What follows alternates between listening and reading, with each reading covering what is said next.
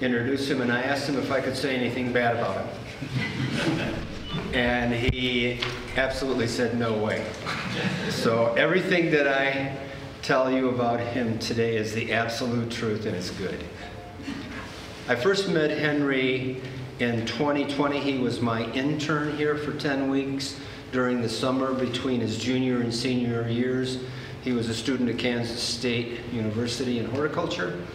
And thinking back on that time, Henry, I don't know, you know, everybody's wearing a mask then. I don't know if I ever saw Henry's full face for 10 weeks, because everybody was masked up, you know, it was that was kind of the trend at that time. But he did a wonderful job. Um, as a teacher, I've been a teacher for uh, 35 years before I came here. This one-on-one -on -one experience is one of the best experiences as a teacher I've ever had. And I, I, want you to know that he was a, a, fabulous student. The interaction we had was wonderful. I enjoyed it immensely. Then Henry went back to finish school. We kept in touch. And I think I mentioned to him casually, by the way, um, there's an apprenticeship available at the National Arboretum in the bonsai collection there. For those of you that aren't familiar with that, that is a a collection that started with a gift from the Japanese people in 1976 celebrating our bicentennial. And Henry got to spend 11 months working on trees from guys like um, John Naka. And did you get a chance to work on the Yamaki pine at all? I did. The Yamaki pine is another, another absolutely amazingly wonderful story. And then um, we we're trying to figure out what to do in the Japanese garden because we lost our curator there and we were looking for somebody else. I said, well, you know, we ought to talk to Henry. And um, one thing led to another and he was a big hit. He got hired and so now he is assistant curator to the Japanese garden. If you want to see some miraculous work that's been going on for about, what is it now, Henry, about a year or less? Uh, about seven months. Seven months. That's absolutely astounding the transformation that's been going on. He does have another three or four years of solid work every day to do, but that's okay. Um, I don't know of anything else I could say about him that's that good, except let's please welcome Henry Basile today.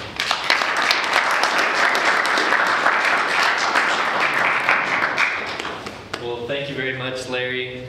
I do have to acknowledge that um, what he said was very biased. He did leave out the bad stuff, but um, we will move forward. Um, so, uh, as he said, I, I started off uh, working with Larry uh, in the summer of 2020 here, um, and uh, I'll talk a little bit more about uh, how I how I entered the world of bonsai and how I ended up doing this experience.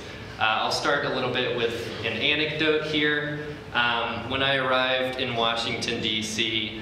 to start this apprenticeship, um, one of the first things I did with curators Michael James and Andy Bell was walk the collection. And one of the things uh, that those fellas uh, had me do right off the bat was choose a tree that I found to be, um, or to have resonated with me. And of course, I'm walking into this room with trees that I've seen only in pictures uh, from artists that I've heard much about from, from Larry. And uh, the first thing I do is go up to the first tree with a giant whorl and pick it out. So that is one of those trees, um, something that by the books might not be good, but again, there are there are excuses or, or exceptions to the rules. So um, this was the first tree I picked uh, as one that resonated with me, and that white pine remained there for the entirety of my apprenticeship. So. So uh, Larry touched on this a little bit, but how did I end up here? Um, so I went to school at Kansas State University. I'm originally from uh, Kansas City, a suburb of Kansas City uh, called Olathe. And um, I didn't grow a plant until I was about 19. I am a part of a, a new generation of bonsai artists that probably grew trees uh, digitally before doing them uh, in, in, the real life. But um, I, I uh, had one year of uh, engineering under my belt and I found it very unfulfilling. I, it wasn't for me. Uh, I spent just enough time in it to uh, take all of the awful math classes. And uh, that summer, I grew uh, three pepper plants in my backyard. I had a ghost pepper plant, and I grew about 10 pounds of peppers from that one ghost pepper plant. Um, it had a woody stem by the time I was done with it, and I said, you know, if I could make money off of this, I, I probably should. So I switched my major on a whim to horticulture, uh, thinking I was going to be doing production. Um, a year later, I, I arrived uh, at the, the opportunity to, to work with Larry in Denver, and uh, I remember vividly on the second day of being there, um, I had kind of uh, had the interest in bonsai because uh, as a grower, you want to be the best horticulturist you can. You want to be someone that can cultivate plants uh, that are difficult to take care of um, and keep them alive at all costs. That's all I thought I was getting myself into. Um, the second day of being uh, in the collection here, um, Larry handed me a booklet of the principles and elements of design, and I immediately looked down at it and wondered what I had gotten myself into. Um, but uh, it opened up an artistic side of me, and I've, I've started pursuing bonsai. Uh, obviously through this apprenticeship and uh, continuing in the Japanese garden. So uh, long, long winding road, but we all get here somehow. So um, it was a phenomenal opportunity, and uh, after that, headed out to DC. So to move over bit? move over, back. Back that way. Absolutely. Yeah. Um, so uh, to speak a little bit about some of my first impressions of being at the Arboretum, uh, it was a, an 18-hour drive from Kansas City to DC. Um, and uh, one of the most grueling drives, not a, not a very fun drive at all, and uh, I had a lot of time to ruminate about what smart or insightful thing I could say when I uh, appeared in the collection. Um, when I walked through the door um, and into the Chinese pavilion, which had all of, uh, all of the trees in winter storage at that time, uh, the first thing I saw in, on the ground uh, on a cart with a flat tire was Goshin, and uh, immediately I could tell that these fellows were very desensitized by the work that they did every day. Uh, it, was, it was a lot of very astounding trees and, and stuff that you can hope to see or work on. Um, and at that point, um, it was a little difficult to, to come back from that. Not, not much that I said I felt like had much insight at first, but um, as with everything, you find out you're wrong. Um, so while, I'm, while I was there, um, another first impression that I had was uh, our collection here at Denver is uh, very is designed very specifically to emphasize this space, to emphasize um, not only the trees but the surrounding that uh, the environment has. So a lot of these trees uh, are displayed in a way that the accent plants, um, the environment itself reflects where these trees were collected or uh, continued to be worked on. Um, in this collection, uh, there are over 250 trees uh, amongst 90 species. Um, and uh, during that time, these trees of uh, very high caliber are all right next to each other, and that was something that I was not super familiar with. It, it was very overwhelming, um, but it was, uh, again, an incredible experience nonetheless.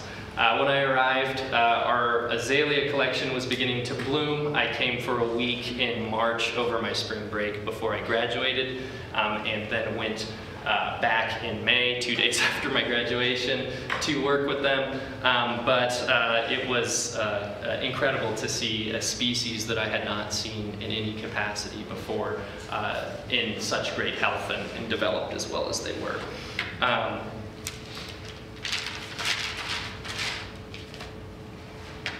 So I, I, spoke a little bit about the curators being a, a, little desensitized to the work that they were doing. Um, so uh, again, the, the observations that I had uh, were very shallow at that point. One of the first things that we did uh, was uh, we took all of our trees from winter storage uh, and we displayed them. Um, and so that task required a lot of work in the uh, department of presentation or exhibition of these trees. And I had a little bit of experience uh, with Larry uh, in that department, but uh, taking these trees that I'd seen in photographs and immediately being quizzed after a brief hiatus from bonsai to complete school, um, I made a lot of errors on uh, as far as uh, where the front of a tree might be, where a tree might be displayed best um, I felt like I was kind of coming up blank. So the impression I was making on these fellas I did not feel was very strong to begin with. Um, but again, another thing that I noticed right off the bat that was uh, quite different about the collection is uh, in Colorado we deal with uh, the difficulty of growing deciduous trees, and the amount of deciduous trees in the collection was astounding, uh, as well as the, the breadth of species. We have we are very very gifted to have phenomenal phenomenal conifer species here, but the species that I was seeing in the national collection uh, were much more uh, of the nursery stock variety of, of stuff that had been started from seed and developed and ramified to the highest level rather than collected from the wild. Um, I would say in that collection, only about 33% of the North American collection uh, was actually collected from the wild, which was very different from the, the western Rocky Mountain style bonsai we do here. Um, again, it was certainly not the bonsai I had seen or worked with. Uh, and the, the, soil mix was different. Obviously, Washington, D.C. is a very, very humid place. Um, and so a lot of protocols and stuff were all mixed up. And I, I kind of, in some capacity, started at, I think, I believe I can quote Larry on saying that when I was with him, I was working on level zero. And when I was there, I began level one. So um, uh, I also noticed uh, the curators were seemed very stressed out. Um, I think that was pretty evident to anyone who was viewing them. Uh, but as I would go on in the job, I would realize that there was a rate that they had to, to work with um, and to take care of a collection with only four full-time employees um, of 250 plus trees, plus trees in development as well, not even to count those. Um, they had to work very, very quickly. So. I'll speak a little bit about our collections, uh, or the collections at the National Arboretum, just to give you, those of you who may not know, a little bit of background. As Larry said, uh, in 1976, the American Bicentennial saw the gift of 53 trees uh, to the United States, um, and they were uh, set to be housed at the National Arboretum. Uh, very, very little history was actually given on these trees when they were given to us, so a lot of that was actually found out for ourselves. Uh, for example, the Yamaki pine, which you see up near the top, uh, it's a Japanese white pine. We, we didn't know, or, or the organization didn't know for uh, at least five years that that was a tree that had survived uh, the bombing of Hiroshima. Um, and uh, as we found out more things about these trees, we could put together um, a little bit more of a, a record of, of, what these trees had seen. Um, so continuing on, there were 53 trees donated uh, 50 for each state in uh, the United States, and then three uh, specifically from the imperial family themselves. Um, one of those is uh, the Japanese red pine right here, the imperial pine, um, as well as two other um, species, a maple and a um, hemlock, Japanese hemlock. This is, uh, the Japanese collection is actually the smallest collection and has had the least additions since the start of the uh, museum, uh, but it has the biggest uh, size difference of the trees, uh, as you can probably see, our Shohin trident maple up there uh, started about 1917 and growing over a stone, um, and the Japanese red pine started in 1795 in training and about six feet tall. So there was a very large variety of species to work with as well as sizes to work with. Um, the majority of the trees in this collection, I will say, are a good two-person tree. So these are not easy trees to move through, but uh, very traditional Japanese stylings, padded out, um, as well as uh, traditional Japanese species such as the white pine, Japanese black pine, Ezo spruce, Japanese maple, trident maple, yews, and, and the like. So, um, continuing on a little bit, and uh, for this presentation, uh, at the end of each slide, if anyone has any questions, I'd, I'd love to feel free to answer. Mike. Uh, the Yamaki pine, was that from seed? Yes. So uh, it was from seed. I think it's one of the few that's uh, actually. Um, so it, it is um, from seed. I believe it was started in 1625 by the Yamaki family. Um, I do not, and I'm not entirely sure on that, believe it was a graft, but if that is one thing I need to double check on. But that, that was certainly started from seed. So, any other questions? So to talk a little bit about uh, a collection that I did not know much about when I started. Uh, so our Chinese collection uh, kind of uh, to some folks who may be interested in all bonsai or American bonsai, it may seem a little out there. To me, it certainly did after seeing the, the trees in Denver. But the Chinese collection, again, it was very wild to me at first. Um, the styles were very, very radical, uh, very, very dynamic. Um, the, the pots were louder, brighter colors uh, with intricate designs on them. Um, and a lot more was uh, a lot more focus was put on the taper of the tree as well as the, the way it was trained. So 90% uh, of the trees in the Chinese collection were trained uh, ultimately only using cut and grow techniques.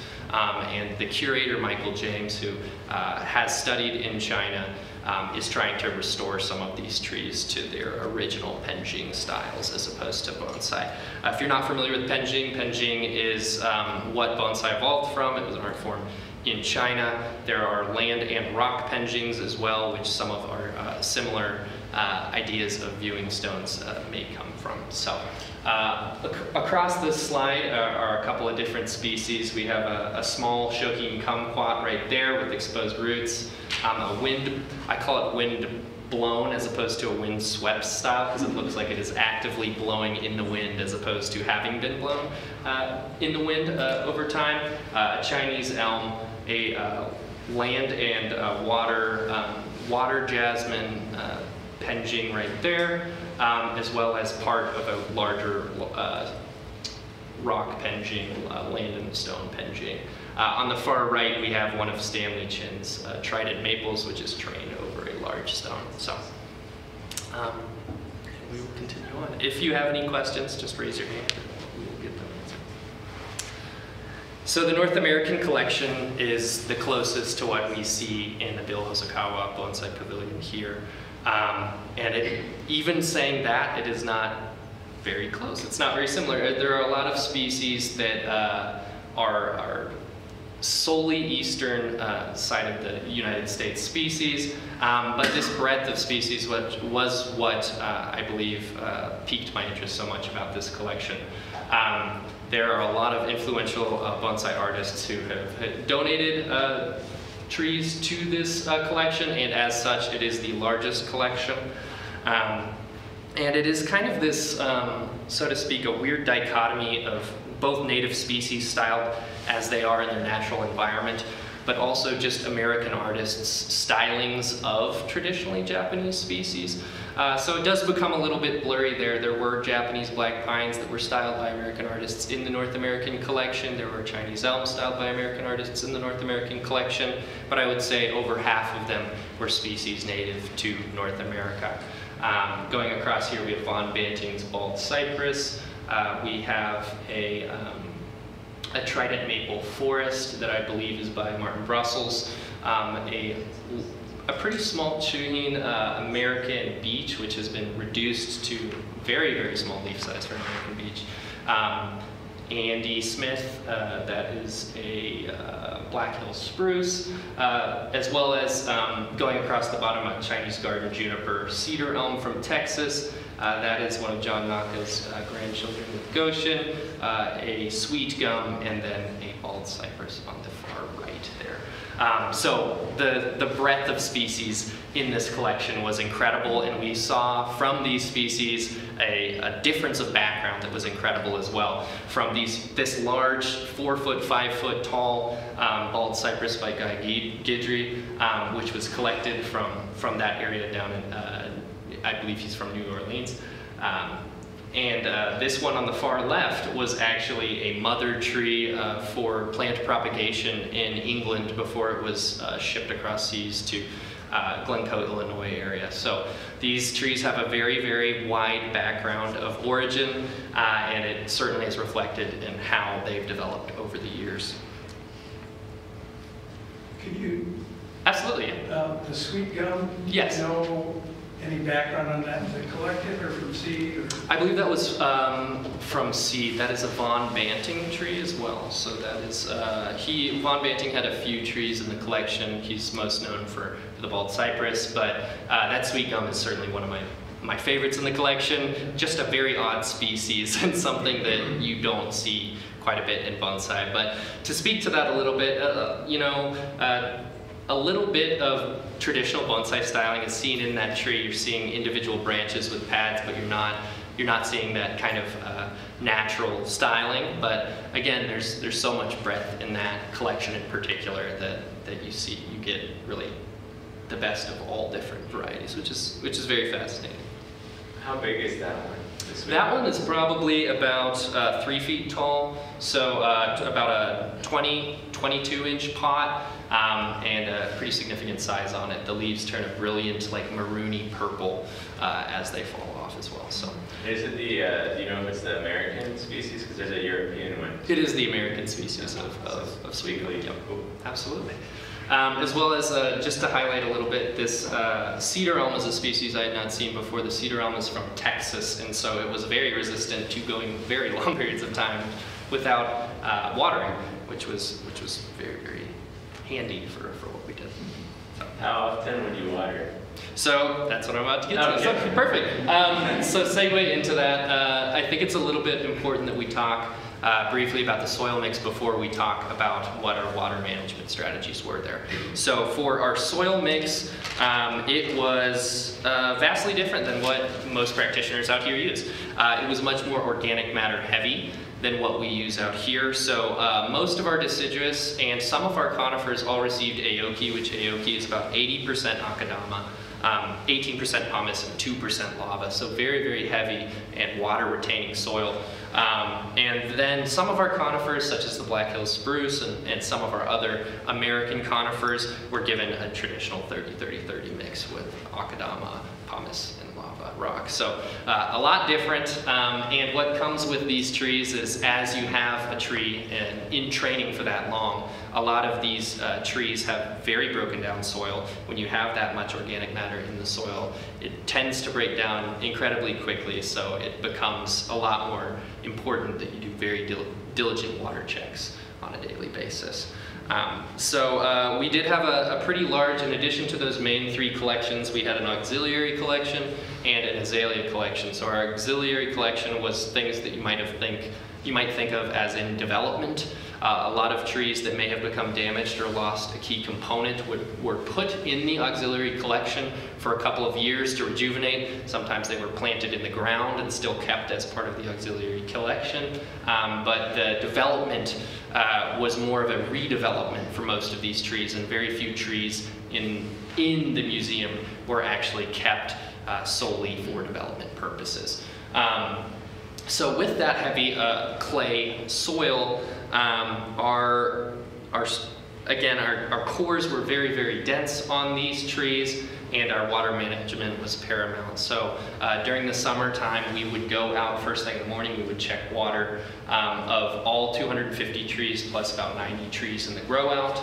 um, as well as our tropicals in a conservatory. We would check all those trees for water, water as needed. Uh, this is all done by hands and by finger. Um, and uh, all of the um, trees would be rechecked again at about 1 p.m. So it was a constant thing, and if you were not quick at being able to check and thoroughly water, you did not get much else done that day. so uh, when during the periods of time where uh, they are between apprentices, it becomes a very difficult process for between a curator and assistant curator to keep all of these collections in, in good standing and good health. Um, with these clay soils, um, overwatering became an issue that I was certainly not as familiar with um, as I, you know, here uh, with uh, more porous soils, it's a lot easier to water heavily and kind of forget about it. Um, our Chinese collection had about 25 to 30 Chinese elms alone, um, as well as uh, a lot of other deciduous trees, which show very, very quick uh, stress after being watered heavily for several days. So um, our curators, uh, an idea that I was kind of uh, taught in horticulture school um, was the fact that you are either a wet grower or a dry grower. Again, that's kind of a definitive, you know, that's an absolute, and you never speak in absolutes, but to some degree, uh, folks either keep their soil a little bit more wet or they keep them in incredibly dry. Uh, in this environment, it was a much drier environment, so these, or, excuse me, they kept it much drier than we certainly do here. Um, so uh, the environment that they kept these trees in was uh, for hornbeams, Chinese elms, trident maples, and other deciduous species, they would let uh, new twigging uh, as well as leaves actually begin to wilt before they would water them. There were crab apples that I uh, would have panic watered when I was alone, uh, that my curator would come back in the next day and say, hey, we were waiting on that. We didn't want to water that today. Um, that I was just astounded that they could make it another day when the soil was completely tan, you know, completely dried out from the, from the top. Um, and part of that was in fact to uh, uh, the fact that uh, many of these cores had not been repotted, had not been touched during repotting, so the cores were much more dense than the exterior uh, soil. So uh, water would run through the exterior soil significantly quicker than it would through these cores. So if not watered appropriately, they would dry out. Could you define what you mean by cores? I'm Yeah, so uh, to speak, of, I guess, a little bit more about a soil core, uh, we refer to the soil cores as just the soil that is directly beneath the nebari of the tree. So in that spot, it's a very difficult spot to get that completely, uh, especially on a tree with big nebari, to get it completely saturated. Um, and so in a lot of these cases with trees that uh, have cores that may not have been touched for decades, um, sometimes the water would run through the bottom of the pot, but it was just going through the looser, less broken down soil on the exterior of the pot without actually uh, uh, penetrating the interior of that core. So that was something that uh, I'll talk a little bit more about when we get to some of the challenges that we faced, but um, it, it definitely makes for a much more volatile tree, um, but it can be an effective method for reducing leaves or keeping twigging very small. Um, Henry, yes, sir? the far right image, what are we looking at there? Right there, so uh, that soil is Kanuma right there, but that is uh, one of our azaleas. Um, and that was an azalea with 25 to 30 azaleas. Uh, that was one of them that bit the dust. So you can see um, part of the, uh, the, the root hairs are no longer that nice white color, they're, they're a dark brown color, uh, and that is what we were seeing um, after uh, that tree had, had, had died. So, Henry, I want to go back to Mike's question. absolutely. Yeah. What do you, what do you do to get moisture into that cord? So a lot of it, um, for trees that were particularly difficult, a lot of our shoki were particularly difficult, believe it or not, um, we would submerge the trees um, and let them completely stop bubbling before we would put them back out on display. Uh, in other cases, when I would go and do water duty in the mornings, uh, we were expected to water trees uh, a minimum of about three to four times every time we were going through. We would leave about five minutes in between each time, so it was really this circuitous, you know, you, you go through um, each pavilion once, twice, three times to water the trees that you know need to be watered to make sure that they penetrate into the core. So lengthy process, absolutely, but um, uh, in the long run, uh, we had success with it. So.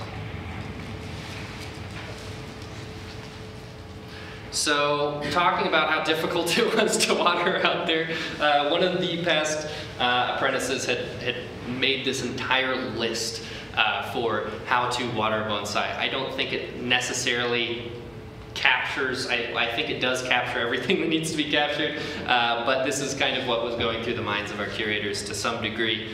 Um, everything from what is the horticultural health of the tree to do you have the luxury of checking the tree later in the day? Um, what season is it? Uh, anything here um, certainly has an effect on the overall watering of the tree and whether it is overwatered, underwatered. Um, and a lot of it had uh, ultimately came down to the different watering styles of the curation staff. Um, our uh, main water, Andy Bello, who is the assistant curator out there, uh, is a very, very heavy-handed waterer, but he lets things dry out entirely to a point that I am not comfortable with in any capacity before he would water them. Um, whereas uh, Michael James, our main curator, uh, will try to push things as far as he can, um, but would ultimately give things spritzes in the afternoon to hold them over next day. Um, all those little variations, right? You might see that spritz, that soil, that topsoil might be wet, but that core might be bone dry. So knowing who watered last is, is, is actually very important uh, when it comes to maintaining a collection of this size. So moving on to development. Um, development was not, yes sir? Uh, Back to your 20 criteria. Yes, How do you- absolutely. How do you journal or keep track of all the trees and what you observed when? I mean, do you have extensive journaling or? Well, so there is a degree of record keeping that we keep, uh, and it is something I'll touch on a little bit later. Um, but as far as watering goes, it was all up here, and that was uh, one of the, the most difficult things to learn at first. It took a lot of very slow six hour watering sessions that basically resulted in me getting nothing else done during the day. Um, but by the time I, I had left there, um, I had become familiar with the trees and, and the artists of the trees, and so I'd be able to say, oh, I need to water um, this black pine by this XYZ artist, by Toro Ito or something like that. Um, and uh, the curator would know exactly what I'm talking about. Um, I would know exactly what I'm talking about. So when I when I first started, my my technique was I always keep like a little tiny pocket handbook in my back pocket, and I would just write down the number because each tree has a number in the collection. And I would write that number of that tree to either come back to check it in the afternoon or to uh, remember that this tree hasn't been watered and will need to be watered the next day. So a lot of mental math going on up there, but uh, despite it, uh, didn't kill any trees, so that's good. Um, but moving on, yeah, it's it, it is a difficult process and something, especially as you're an apprentice, uh, you have to find your own way to kind of understand the breadth and and which ones you did. You have to find your own way of remembering. Is, is I, I suppose what I'm saying. And were you using DC tap water? we were not. So the, the National Arboretum was on, uh, has its own source of water, but not the DC tap. Though I don't know what that would do, but. Uh, continuing, so development. Development was something, uh, I spoke a little bit about the auxiliary collections as well as our azalea collections. Those were the two collections that received the most by the books development of any trees uh, in the museum. So most of the trees that we uh, received as donations uh, were already in a stage of development that was so highly developed, at least secondary or tertiary branching was already on these trees. Um, so development was really used more as a tool uh, to keep taper okay, to refine certain things, and to also um, repair trees that may be in bad standing. Um, so uh, while I was there, I heard a, many uh, nightmare stories about what has happened to, to trees in the past.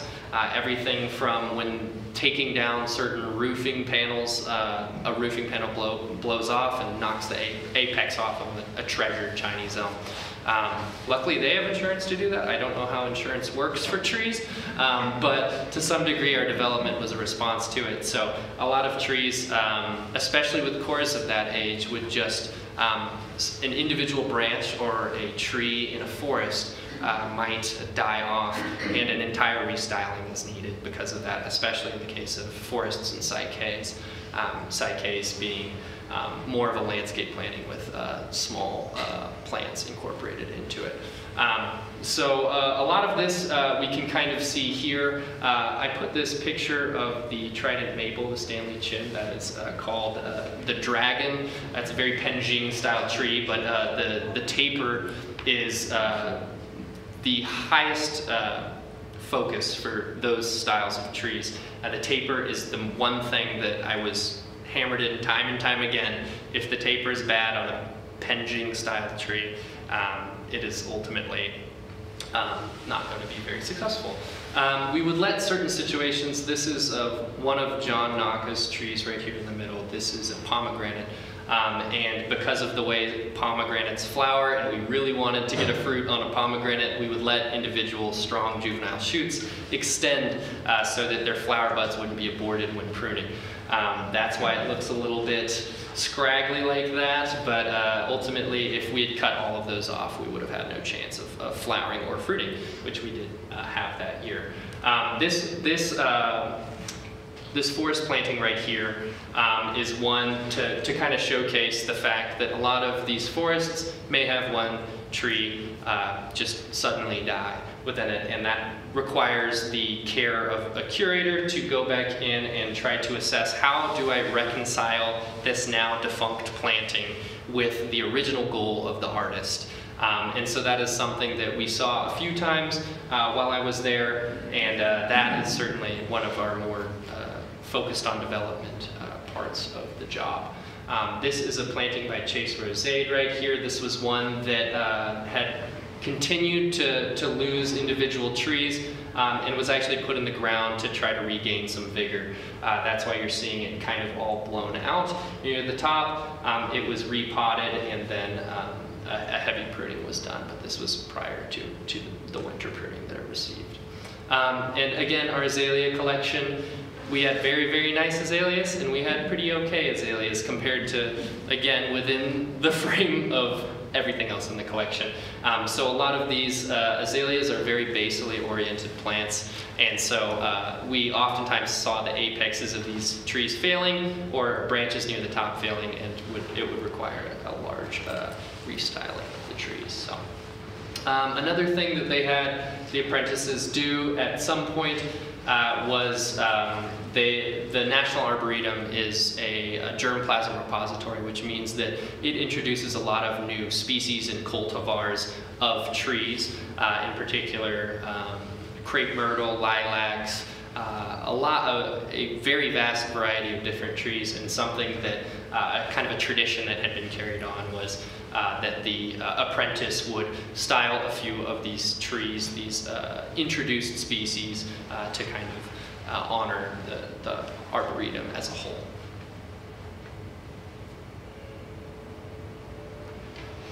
Talking a little bit about refinement and ramification. Um, so this is the majority of the work that I did in the collection.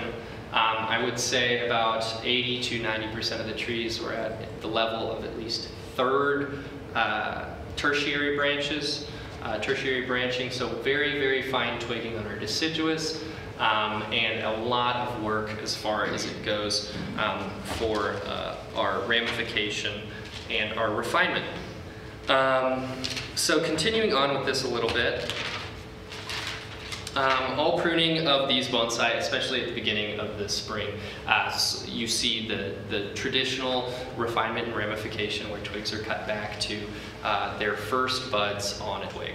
Um, these were had to be thinned in a way that maintained the overall look of the tree, and some styles, particularly our Penjing, had to maintain the original form of that style. In the case of the windblown uh, Chinese elm here. Uh, any twigs that were growing on the other uh, side of the tree or in the opposite direction had to be completely removed.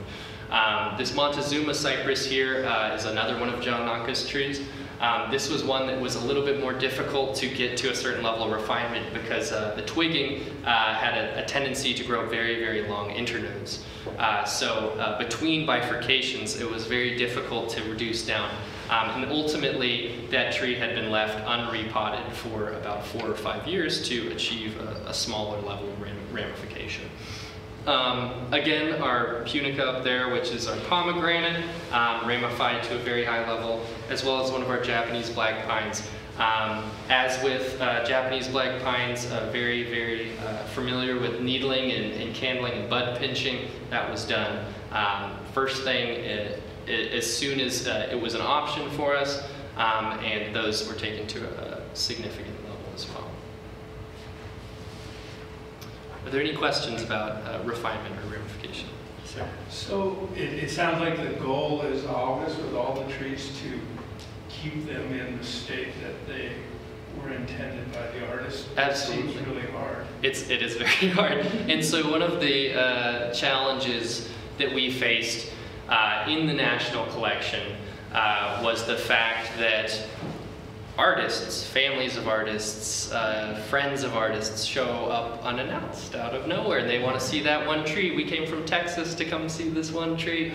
Um, so the majority of the trees, about 80% of the trees were on display at all times. We probably had about 175 to 200 trees on display at all times of the 250.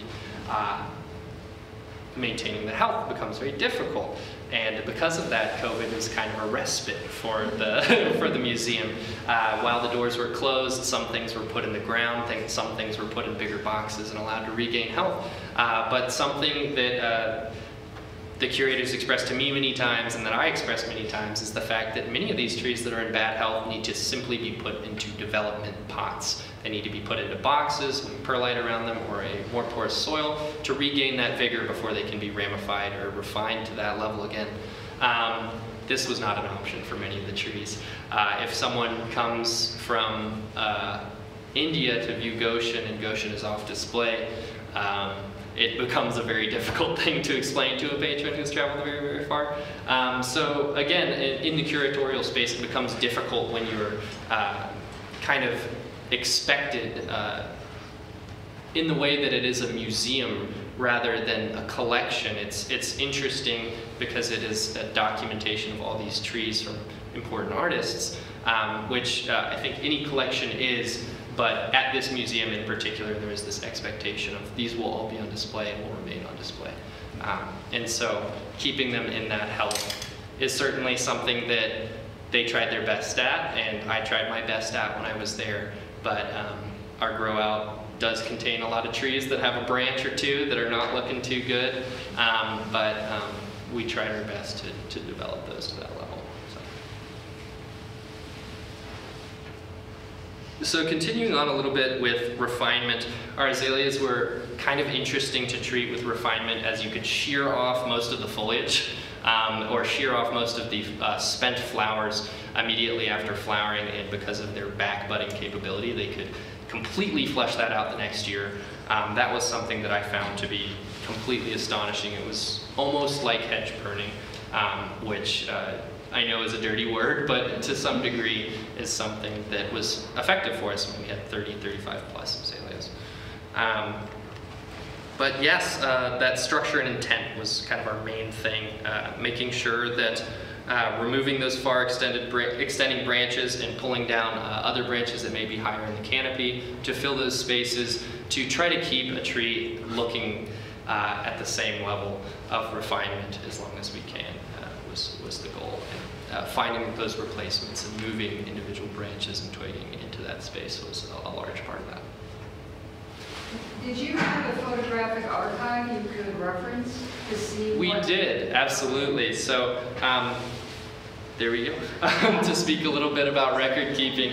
Um, so, uh, the collection, again, uh, Daryl, you spoke a little bit about this. It is an abundant uh, source of uh, library resources, of images of the trees. We have Polaroids dating all the way back to um, you know 90s and 80s on some trees, and then the original images, the original film images of a lot of the trees as well. Um, so for a lot of these, we could see what the artist was thinking at that time. Uh, a lot of the Japanese uh, trees that arrived when they arrived had very intense ramification, but not very thick uh, bases, trunks, or primary branches. So a lot of those were actually refined, or uh, not refined, but um, developed a little bit as the refinement was, was kept up. Um, as far as our record keeping went, every single time we fertilized, every single time we pruned, every single time we needled, it, even as far as lime sulfuring, every single thing that we did was written in a uh, written binder as well as digitally uh, upkept. So um, it, it, was a very helpful tool to be able to see. Um, I think we lost three trees when I was there, um, and uh, one of them uh, we we sent a soil test in, we sent everything in. It was a crab apple. We weren't entirely sure if it was fire blight or what it was. Um, but by being able to go through your records and see what treatment was used on this tree last year, what soil mix was used last year, um, were any major branches removed, uh, you're able to keep up with what you did wrong. And uh, killing trees is a normal part of bonsai but um, learning from it is, is the only way you're going to progress. So, uh, especially in a curatorial space where you don't want to kill any trees, it's very important that you know why something uh, may have failed and are able to explain it, especially to an angry artist. so, Um, yeah, I was gonna ask if uh, a tree died, did you tell the artist or? so I was apprentice. That was out of my pay grade. I was very fortunate that I didn't have to tell XYZ why their tree died or that their tree died. Um, but yes, yeah. So I would say one of the reasons that the uh, the main curator gets paid the big bucks is because he's the one who has to call Dan Robinson or XYZ to tell them that you know their tree may have died, and that's not a very savory job for anyone. Um, but at the same time, um, most people who pra are practitioners or have done uh, bonsai for a long time understand that that happens. Uh, it's more difficult to describe it to the families who, uh, you know, the artist may have passed. Um, they're coming to view it and it's not in good shape. Why is it not in good shape? We donated it, X, Y, Z. It becomes a very difficult part and definitely one of the biggest challenges of, of being a curator in these spaces or, or doing curatorial work in these spaces. Would, uh, would you do the same if, uh, like you had to restyle it, like, oh, hey, we have to add a new? Significant, a significant restyling. Um, if it was someone who was going to be savvy that it had been significantly restyled, I think in the case of artists, certainly. Uh, in the case of families, um, we keep them updated, but it might not be as blatantly or explicitly stated. Um, but to some degree, they just want to know that the tree is doing well and looks, and looks good. For these, uh, like older, obviously older trees, was there any particular ailment that you saw that would take them out? Or was it a very, So, to my knowledge, a lot of it had to do, so our biggest problems that we saw were fungal on our deciduous. Very big problems with fungal on deciduous. Our Chinese elms dealt with that quite a bit, as well as our Japanese maples. That's why they tell you don't mist your Japanese maples, right? Because they'll get fungus on them. So uh, we did see that. Um, and uh, as with all plants, as a plant uh, becomes um, uh, is uh, ailed by a disease or a, a plant disease or, or sickness, it does not go away within that plant's lifetime. Um, they can be purely cosmetic or they can be uh, significantly damaging. In the case of certain species like pyracantha, crabapple, anything in the rose family, we had to be incredibly diligent that if there were any signs of fire, fire blight within a like a basically a half mile radius on the arboretum, we had to make sure that those were kept within a cold frame, kept within uh, a, a closed space, because uh, some of those fungal diseases can be incredibly detrimental uh, to these trees. Um, on some of our older trees, uh, it became more of an issue of, uh, so soil was a big thing. Uh, as heavy and, and um, dense as that clay soil was, some of these trees hadn't been repotted you know, the, since 2011. These trees were not repotted for a very long time. As that core gets older and as that core is not um, rejuvenated by actually fishing out all that really old compo or uh, condensed or compacted soil, um, those roots just get finer and finer and finer.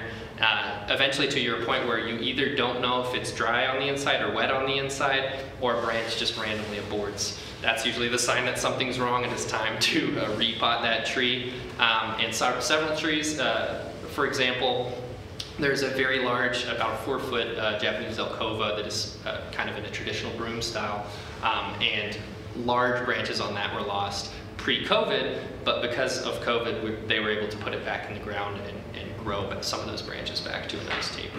Um, so as the tree gets older, the more curious and unexpected the, the ailments become, um, but ultimately fungal was, was one of our biggest issues that we dealt with. Um, about, are you gonna talk about the repotting?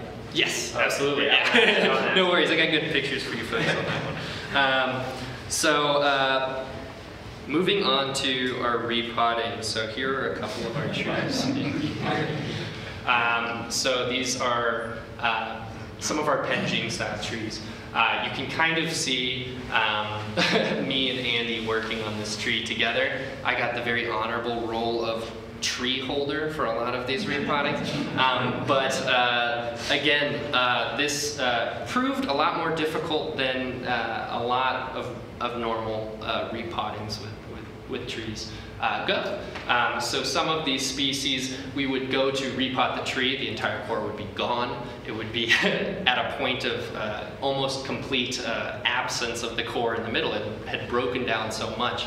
Um, some of our uh, large slab plantings had incredibly dense cores, so much so that when we arrived to repotting season uh, at that time uh, in winter, some of our repottings involved us as you can see kind of on these wooden blocks, mounting the tree up, uh, and then actually uh, using chopsticks or dowels to remove the soil from the center of the core, packing it up with sphagnum moss and regular soil, and then reinserting it into the pot.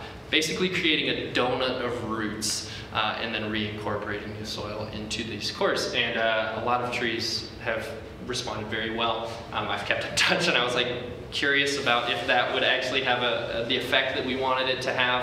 Um, it has in, in most cases. So, um, so yes, repotting was a big uh, portion of this process. I had uh, another uh, fantastic role of going through and uh, making a, a compilation or a list of the last time that every single tree in the collection was repotted. Um, going back to some trees not having been repotted since 2008 or 2011, forest plantings that may have been in good health, so they just kept putting it off a year, kept putting it off a year. Um, whereas our, our chuhin, our 18 to 24 inch trees might get a repotting every two to three years. Um, some of our big trees, like the Yamaki pine, which is about four foot uh, four foot diameter canopy, um, as well as our Japanese red pine that was uh, six feet tall. Those trees uh, might not be repotted uh, until every six to ten years. So. Um, I missed the repotting of the red pine uh, by a month, which I was very upset by, but that tree weighs uh, approximately 400 pounds, so it would, it would be like a, an actual using a hydraulic lift to, to repot some of these trees.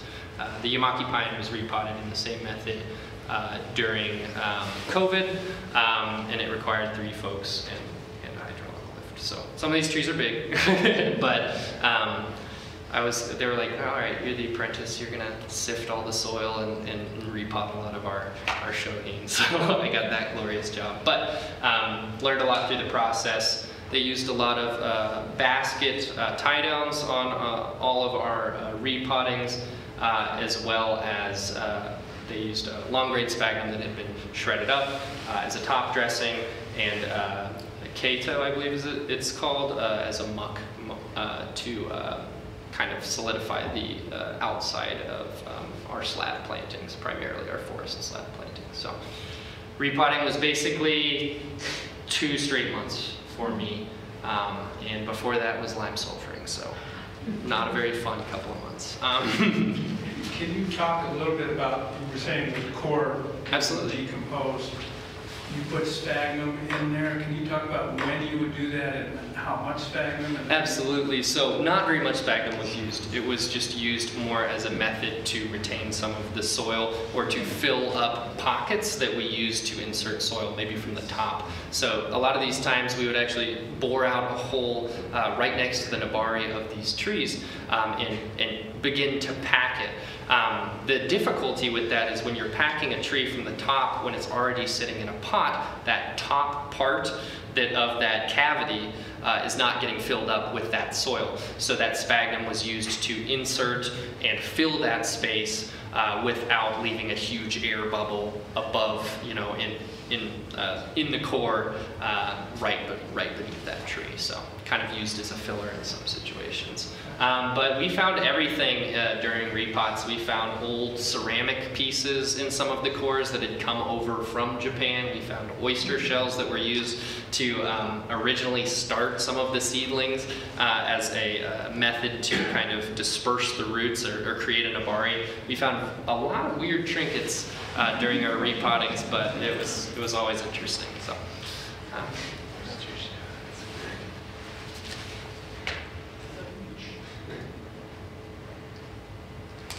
So um, I did want to share this with you. This was uh, another thing that had been created by one of the past apprentices. Uh, I believe this was created by Aaron Hughes, who's out at Huntington Gardens now. Um, but this is the stored energy in temperate trees over a month of year. So a lot, a lot of things went into when we were choosing to do a lot of repottings on these trees. Um, and everything had a rationale. Everything had intent behind it. There was a reasoning. Um, for nearly, nearly everything we did because if we said that we did something without a reason and it didn't work, who would you have to explain yourself to? So um, I just thought this was an in- interesting infographic.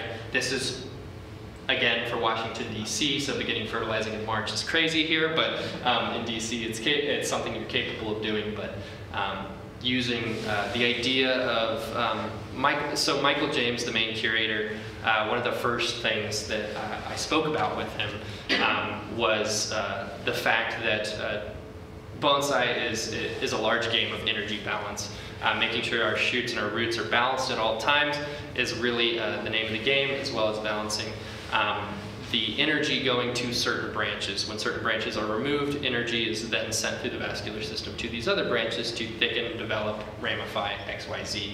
Um, this was a huge tool and kind of a, really, really nice way for me to rationalize the decisions I was making, um, as well as the idea of taper. Taper was really emphasized.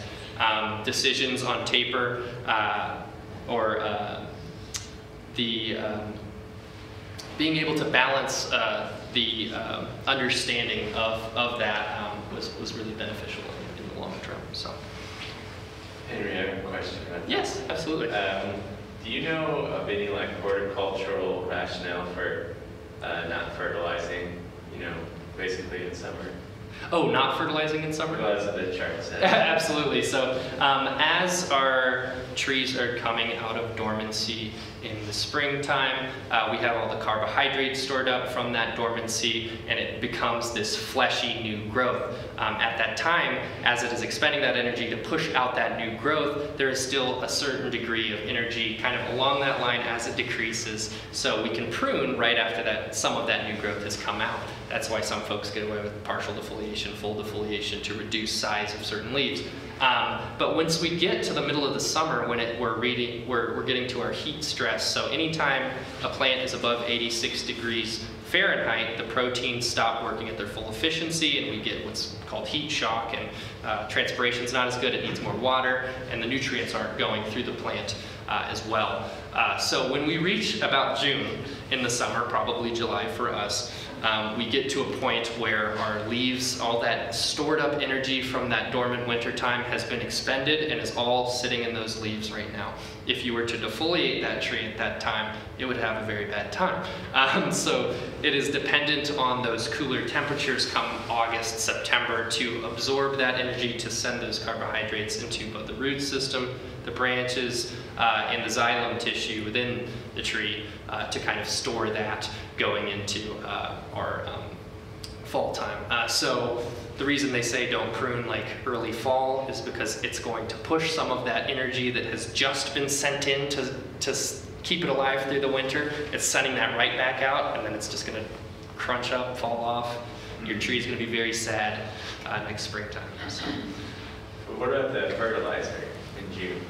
So the reason that we uh, stop fertilizing in June is that what you're? Yes, yes, yes, yes, yes. So uh, fertilizer is used um, uh, as a method to push um, leaf growth. So when you're fertilizing a plant, very, very little of that energy is going into the root system. It is actually going into producing the photosynthate producing leaves and stuff like that. It kind of emphasizes that um, rather than the root system. So when you put all that fertilizer in the plant, all those nutrients are immediately going and being pushed into new leaves, which then fail to harden off by the time fall comes around, so they're lost ultimately um, if you fertilize too late in the season. So. What are your units of energy stored?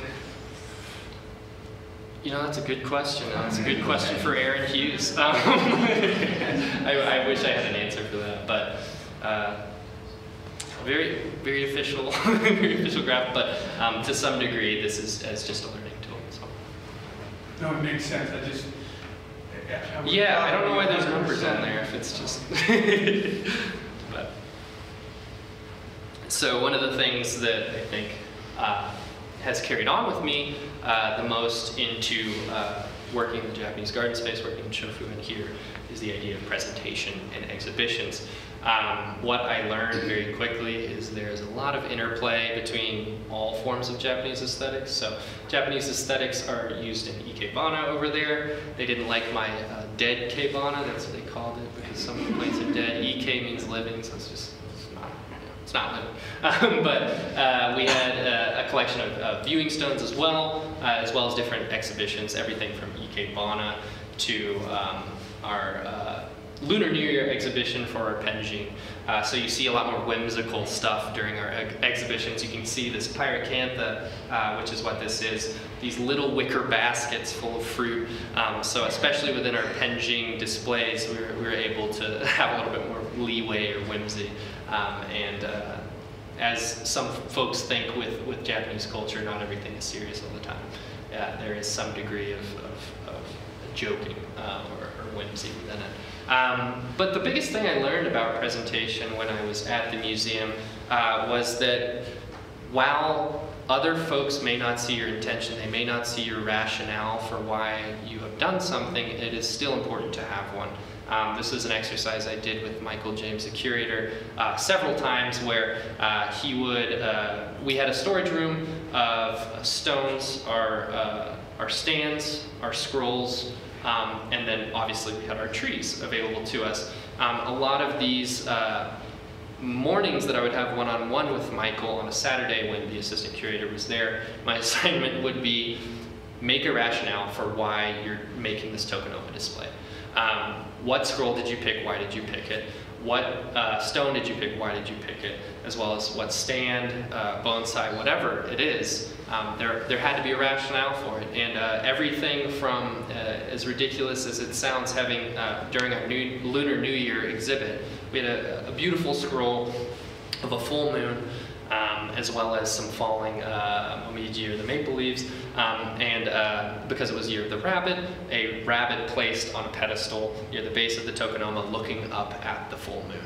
Um, every single step of that was thought through, and there was a stone as well. The stone uh, was a nice uh, green color, um, and Michael, knowing much more about China than I do, knew exactly which area of China it was from, um, and knew that it would be um, good to incorporate into uh, the display. So um, trying to carry that forward into uh, the, the bonsai work you do, the displays that you create, is something that um, as long as you have a rationale or reasoning for why you did it, it may not be uh, something that others see, but it is, is reflected in your work. So, um, And is Yes. that space in the middle there, is that open to the public? This space right in the middle? Yeah. So this is an example of our, so this is our Chinese pavilion, or the Chinese pavilion at the museum. Um, so this is what it would look like during winter storage. Um, our winter storage accommodations were, uh, they put big glass roof panels on it, and they kept it right at 30 degrees. It would never go, or when it would go below, uh, below 30 degrees, a heater would come on. Um, so that space was used uh, ultimately as a cold, a large cold frame uh, for winter storage of things that could that could withstand that space. That would be on display all all winter long. So Okay, and, uh, so if that is public? absolutely. Yeah. Um, Are most of the trees displayed with scrolls or without? So within the actual um, pavilions, they're not displayed with scrolls.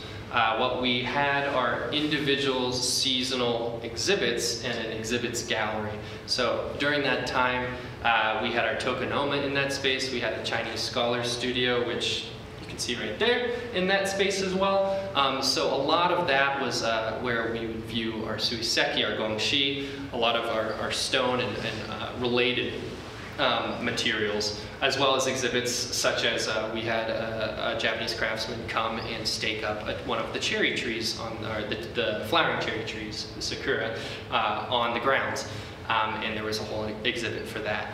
Uh, but for things such as our, our Lunar New Year exhibit or other exhibits, our azalea exhibit, the trees were brought into that space um, mossed heavily over the soil so that they were presentable.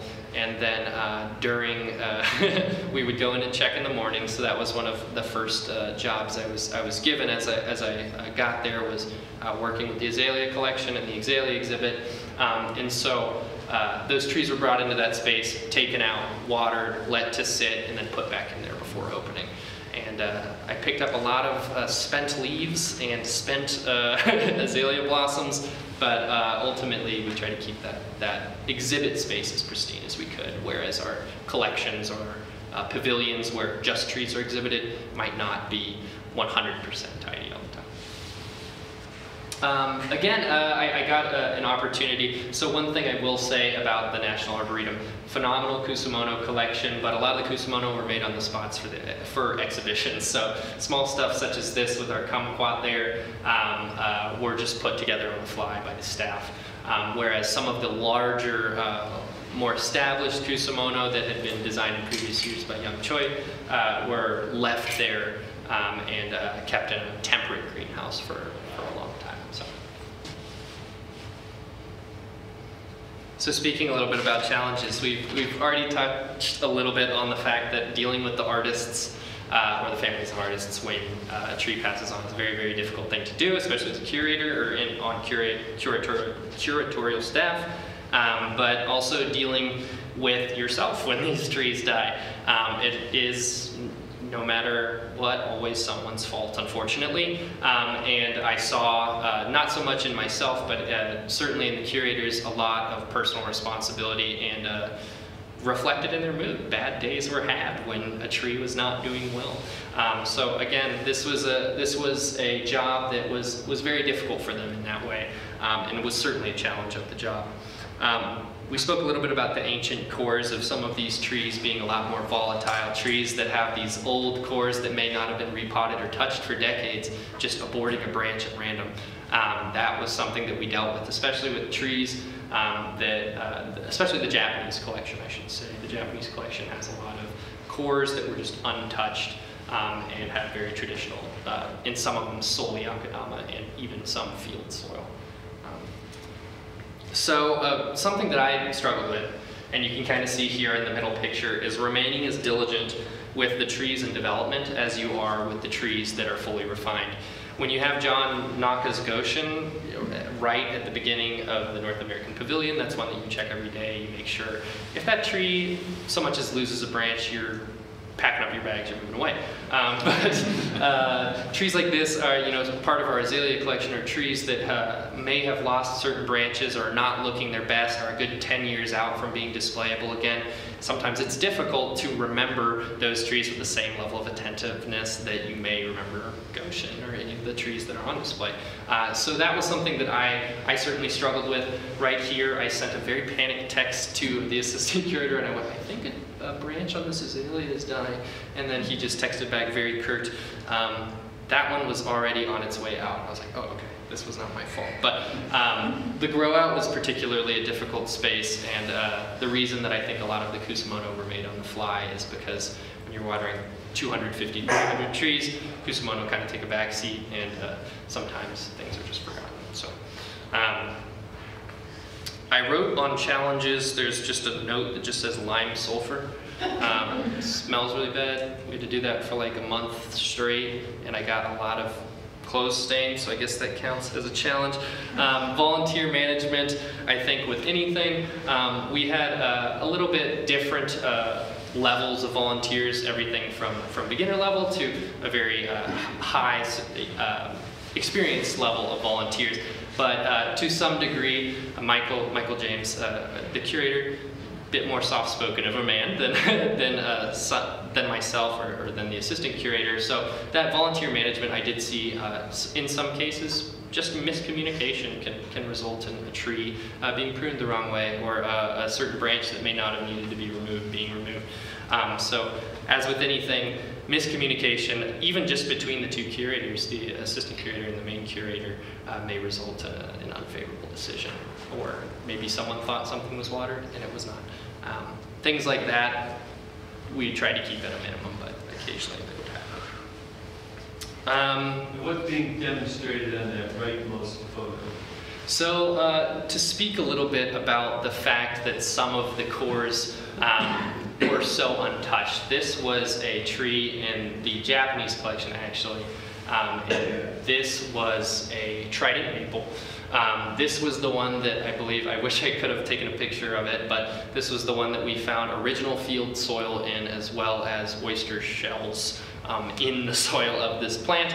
It had been one that hadn't been repotted since 2016 when it was 2022. Um, so we just saw very, very, very uh, root pound root systems on a lot of these trees and being able to, especially on a tree with a large stone uh, right above the nebari or incorporated into the nebari, uh, working into that core became very, very difficult. So um, getting anything to flower was very difficult, as, I, as I'm sure many of you can relate to. Um, and uh, differing, anything from differing styles and differing opinions. So um, uh, our main curator, Michael James, was a very, very talented penjing artist. Um, and uh, differences just between the curator before him and the curator now uh, have resulted in some of those penjing uh, kind of returning to a bonsai style and, and, and, coming back. So there's always these uh, you can see the distinct marks and the distinct uh, style of some of the curators, just like you can see it with any bonsai artist. Um, so trying to remain as uh, unbiased or as true to that form and the style uh, is a big deal. It, for the collection, um, is there any oversight from the Arboretum in terms of artistic or size of the collection or goals and objectives, or is it straight from the main curator? So the curator has a big say in everything as far as art, the artistry goes. So uh, how they're styled, none of that comes from the big boss. The big boss, um, the main thing uh, that he had responsibility over is determining which trees were obtained.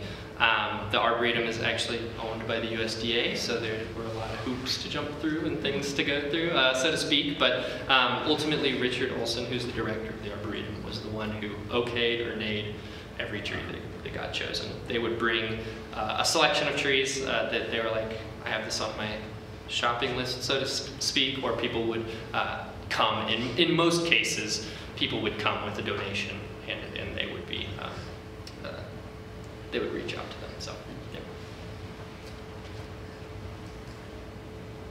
And finally, some lessons uh, to speak about.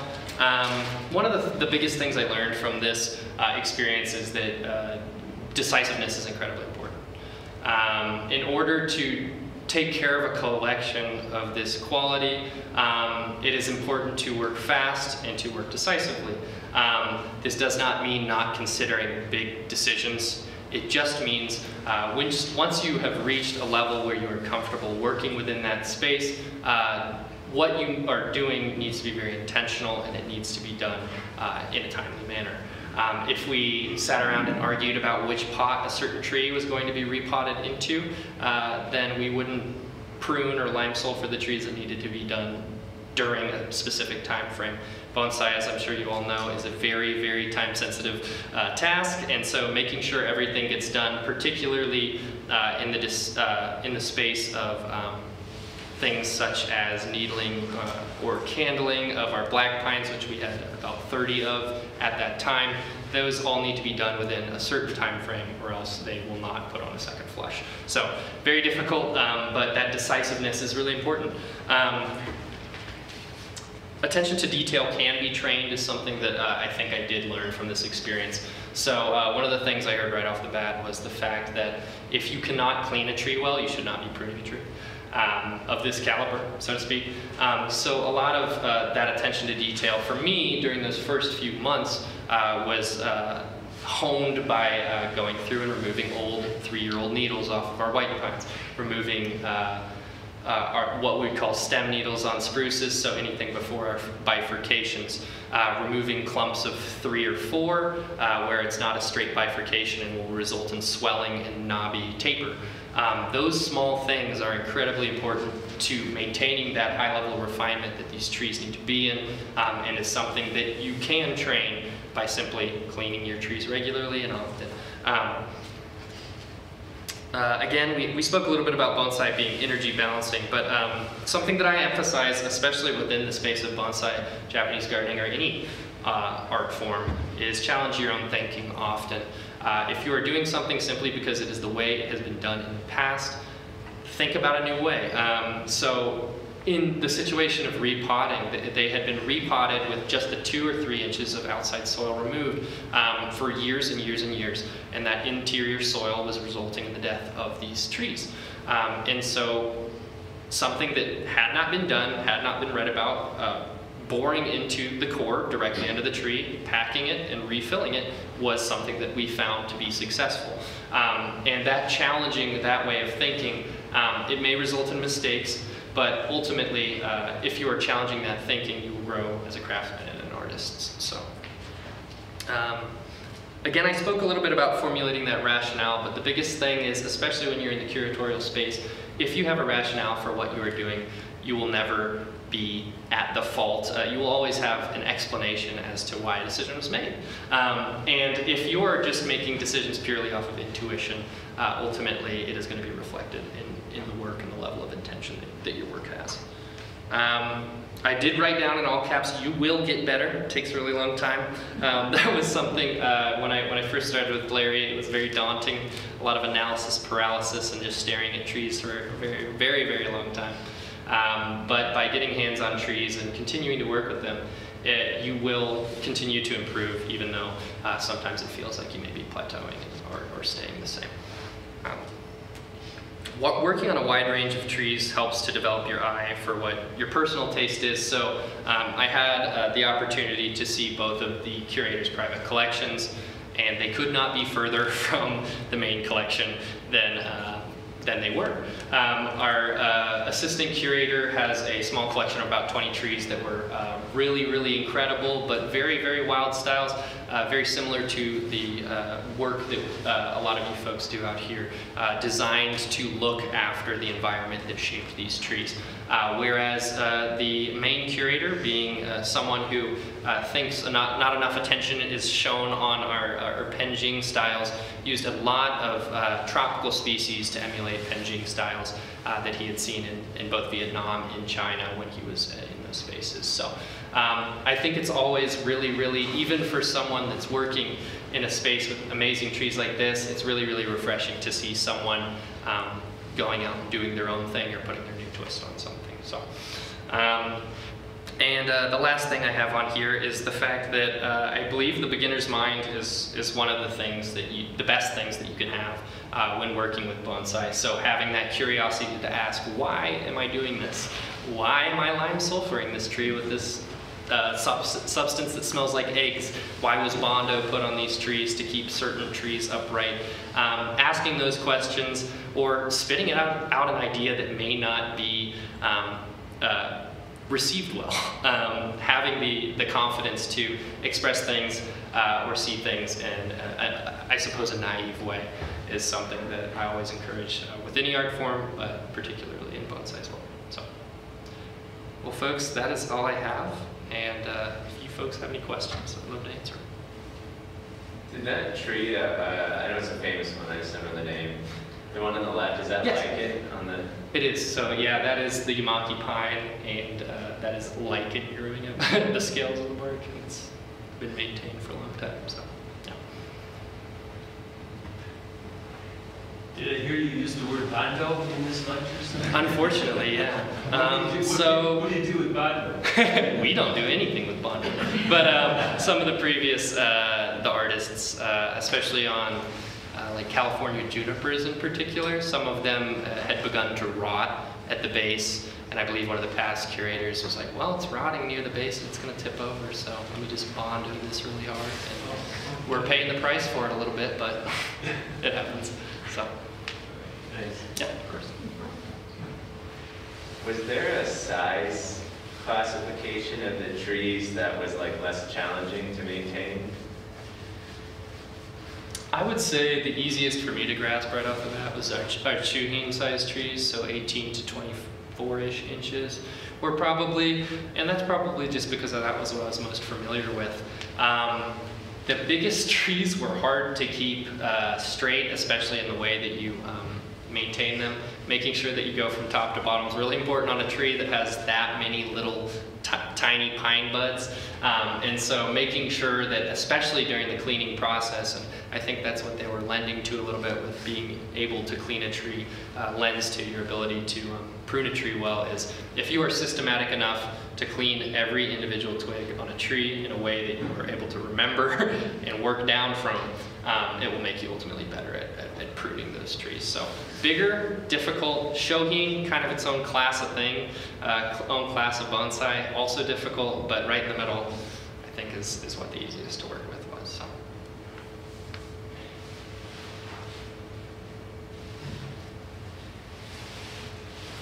You obviously have gained an enormous amount of knowledge in a short period of time. That is true. But now, now you've made a transition I have. from just bonsai into a Japanese garden. So how do you see those, those two have a common thread, but there's, there's way different Without problems and situations. Could you describe what you're facing now and what you're Oh, now? absolutely. Um, you're so- Yeah, I'd love to.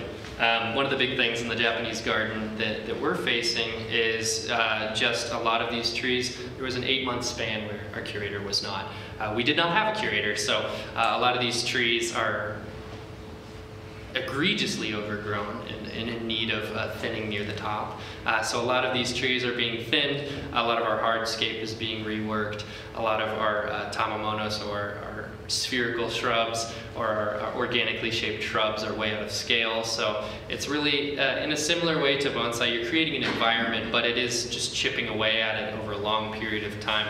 Um, I did have the fortunate uh, ability to work with a lot of the landscape trees while I was there, um, but ultimately the challenges that I face now are uh, more dependent on the environment and less dependent on the individual health of one plant. So um, that I think is our biggest difference. Are the, folks? uh, the trees displayed on, uh, during winter? So uh, if we go back to this image right here, this is the winter storage for uh, the majority of the trees. So the most trees that you'll ever see off uh, off-site uh, it happens also during winter. So about only half the collection is shown off during the winter time. Um, but during this winter time period is where I, I spoke a little bit to the fact that a lot of these trees are beautiful trees. Uh, the middle tree right there is uh, the imperial maple, so very, very famous tree. But the best you can do is jam all these really nice, high caliber trees in a very small space. I think it does an injustice to it, but at the same time, that's the only facility we had to work with, and folks folks want to see the trees in winter. So, um, so that was uh, our winter storage, and you can see the additional tables set up, kind of in the front, the little black tables, um, as well as just the distance between individual trees was much much smaller. How would you decide when to like take them out of winter storage? Because it seems like a lot of work, right? Oh yeah, we played uh, the bonsai shuffle a lot, for sure, and playing that with 250 trees is not very fun. Um, but uh, a lot of it had to come down to uh, when would the temperature be below 30 degrees for more than six, seven, eight hours. If it's going to be below that for that period of time, that's when those root systems start to freeze up and you might see an issue. So um, that was ultimately, oh, if it's going to be 30 or 29 or 28 for like two, four hours uh, during the nighttime, but it's going to heat back up during the day, whatever.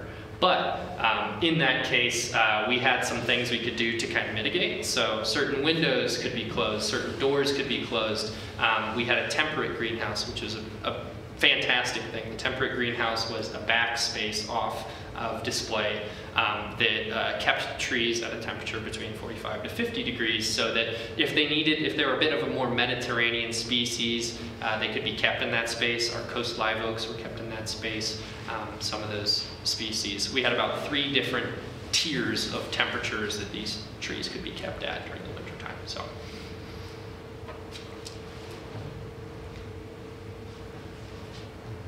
Well, thank you. Oh, back there.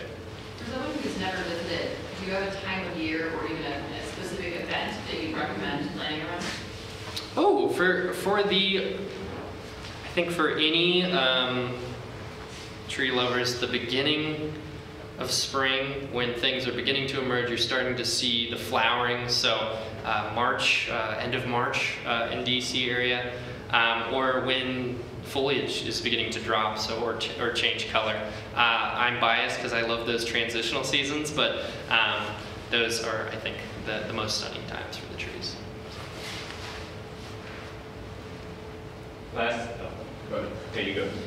Um, what do you wish you saw more of in bonsai here in Colorado? That's a good question. Um, I think one of the big things that I learned from this experience is there are vastly different cultures of bonsai on the east and west coast. And I would like to see a little bit of that intermingling a little bit more. We, there, there are a lot of uh, phenomenal, and uh, we have the best collected uh, material in the world out here.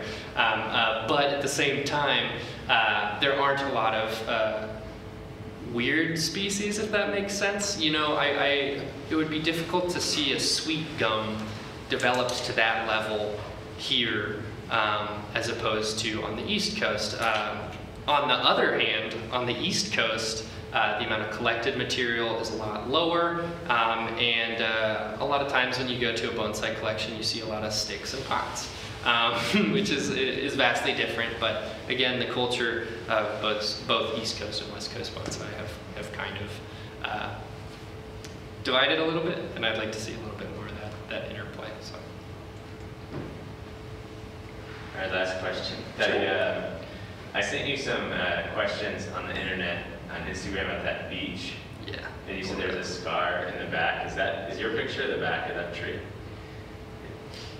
This is this is the back of the tree. Oh, so that big scar you're seeing is is the back of the tree. Okay, awesome. Yeah, because you can't find a picture of the back. Exactly, exactly. All right, folks. Well, thank you very much for, for allowing me to ramble this long.